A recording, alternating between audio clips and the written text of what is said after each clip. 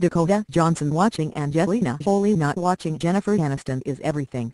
Both Angelina Jolie and Jennifer Aniston attended the recent Golden Globe Awards, causing many to wonder if the two would interact or have an awkward moment of some kind. Brad Pitt's exes didn't connect on the red carpet award during the ceremony, but someone captured a telling screen grab from Aniston's time on stage, and it's the best moment of the night. According to the Huffington Post, while Aniston and comedy legend Carol Burnett were presenting the award for Best Performance by an Actress in a Television Series, Musical or Comedy, the camera panned through the audience. Fifty Shades Freed star Dakota Johnson was sitting at the same table as Jolie, and it looks like the actress was subtly trying to watch Jolie not watch Aniston. It's a pretty fantastic moment. People are loving Johnson's expression as Jolie appears to be ignoring the Friends star, and the pic is quickly making its rounds on the internet. But don't feel too bad for Aniston, though. As the Daily Mail points out, if you watch the actual video of the moment, Jolie isn't really trying to snug Aniston, the screen grab just comes at an unfortunate moment.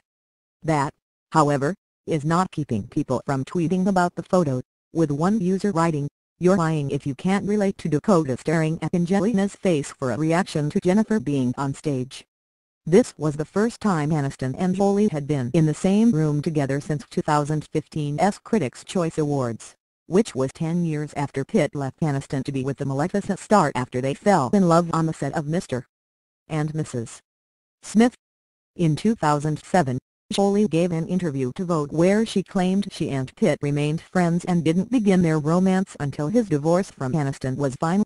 But, she did admit that they started to develop feelings for each other while filming. She said doing the movie together caused them to do crazy things and a strange friendship and partnership just suddenly happened. Jolie went on to say that after a few months she realized that she couldn't wait to get to work. The next year, in her own interview, Aniston called Jolie's comments inappropriate, and said there were things in the Vogue article that was about a time when she was unaware of what was happening. She then shook her head in disbelief and said the stuff about how Jolie couldn't wait to get to work every day was uncool. Radar Online reports that Aniston skipped the red carpet at the Golden Globes, presumably to avoid a run-in with Angelina Jolie, but the two did attend the same Netflix after-party. However, no one spotted them running into each other, and no one photographed them together.